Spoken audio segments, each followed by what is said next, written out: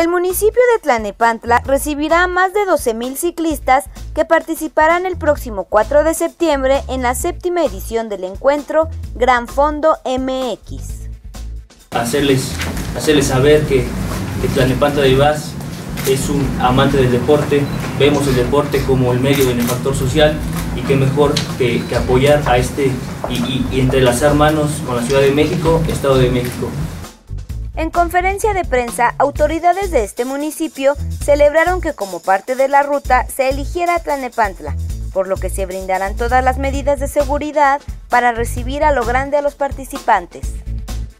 En sí no es una competencia, tampoco es un paseo recreativo, es un evento en que cada participante se fija una distancia y lo ve como un reto a conseguir y establecer un tiempo.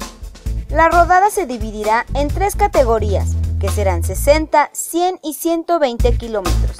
Para la categoría de 60 kilómetros podrán participar personas de 12 años en adelante y en las tres categorías se solicita que los ciclistas pedaleen a una velocidad mínima de 25 kilómetros por hora.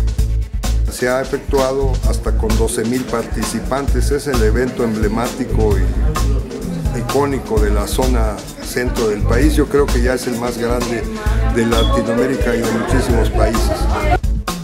Cabe señalar que vías de comunicación como Periférico Norte en carriles centrales y laterales, así como Avenida Mario Colín, tendrán afectaciones viales debido a este evento que ya es toda una tradición.